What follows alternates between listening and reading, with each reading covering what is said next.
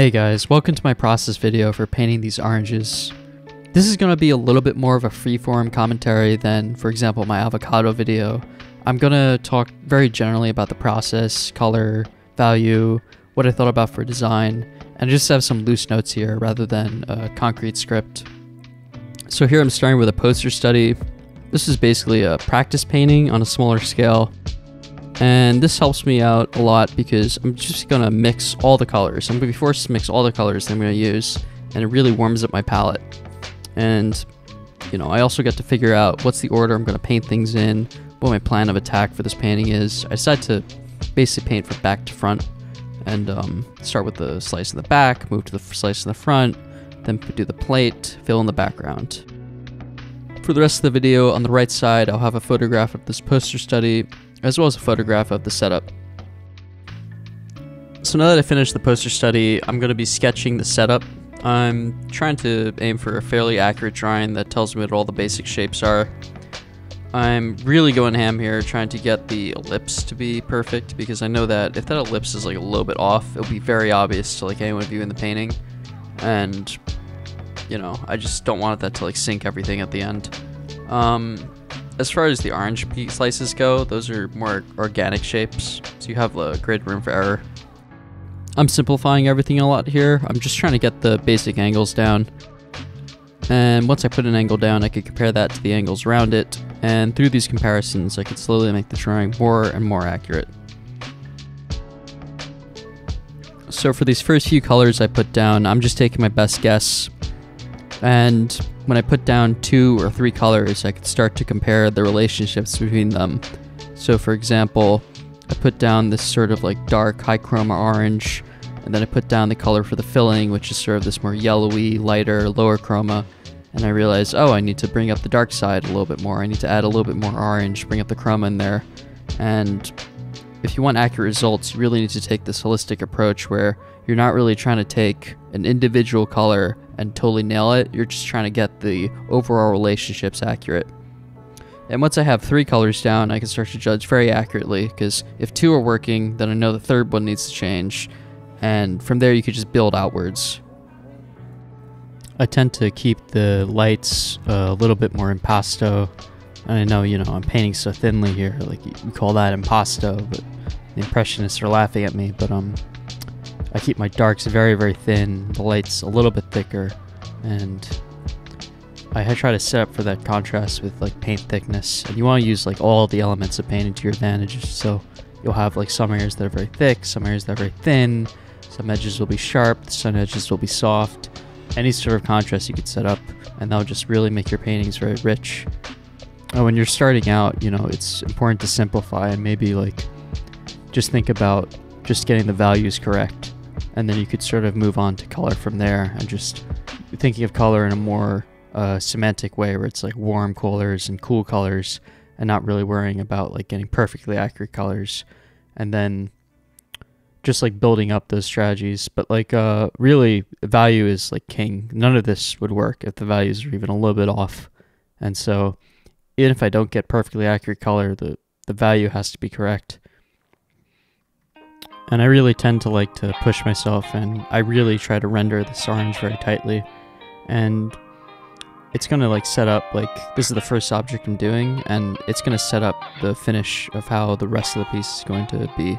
So I'm going to bring this up to the point where I feel uncomfortable going further and then I'll bring everything else up to that point.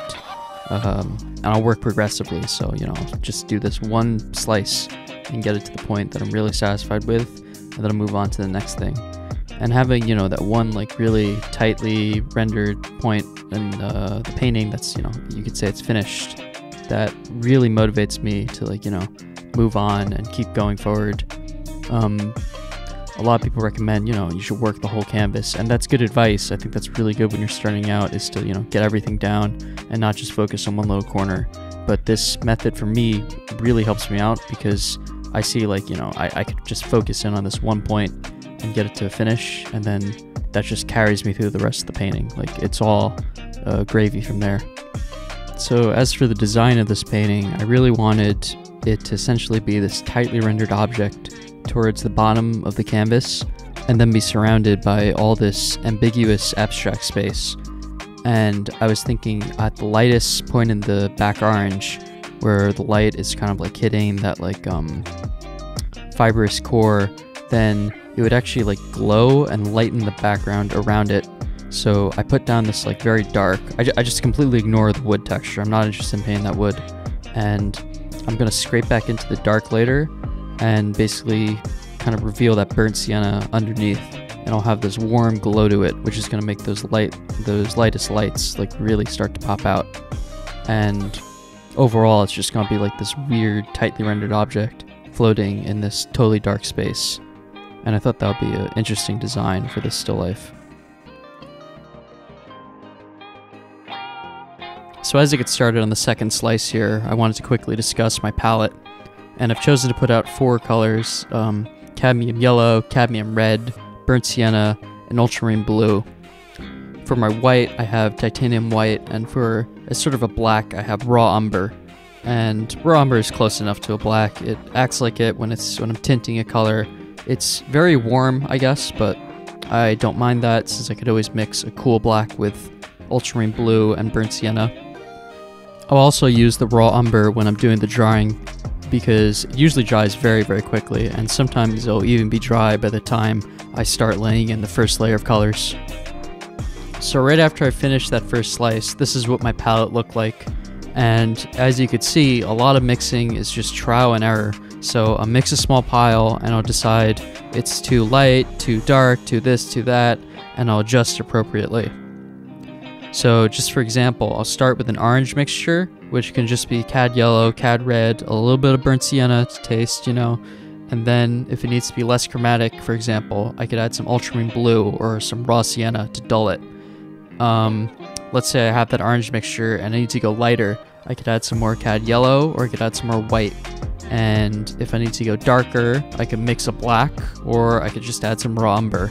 And you basically will mix a color and you'll pull it down and you'll make those comparisons. Then you go back to the palette and you make these adjustments. And that's just kind of like an overview. I don't want to get too technical with this video, but I can do a video specifically on color mixing in the future.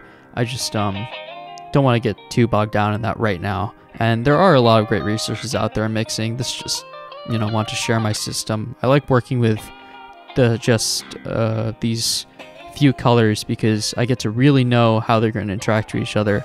And, you know, with a palette like this where you have like these three primaries, you could pretty much mix anything. Like 98% of colors you can mix fine. And you could definitely nail any re- color relationship fine. So for these still lives, it's very useful.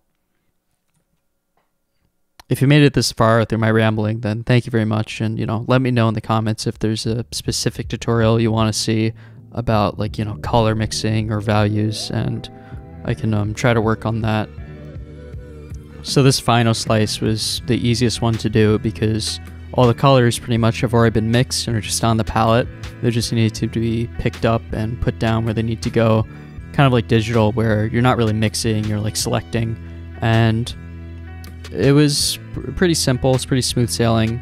I would say just because everything, most of the work has already been done. Um, I still need to pay careful attention to the edges and, you know, paint quality, making sure my lights are thick and my darks are thin, all that jazz.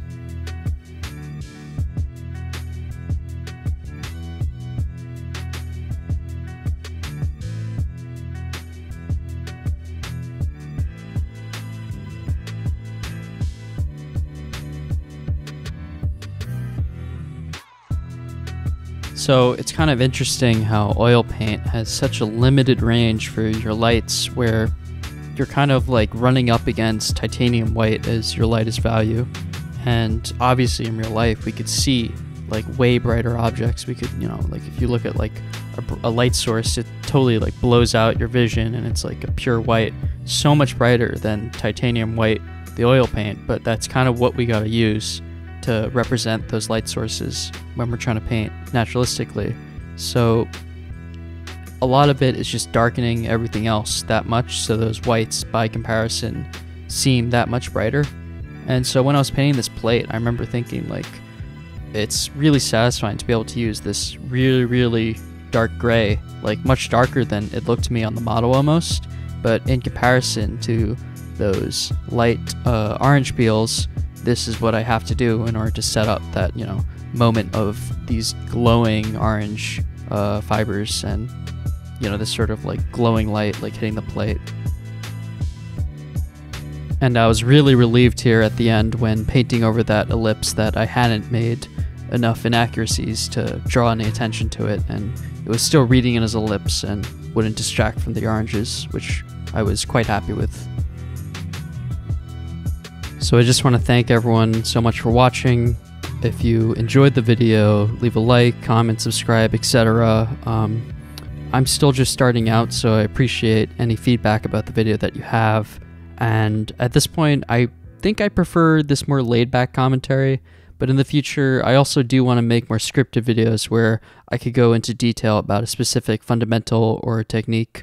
So just let me know what you want to see, and thanks again.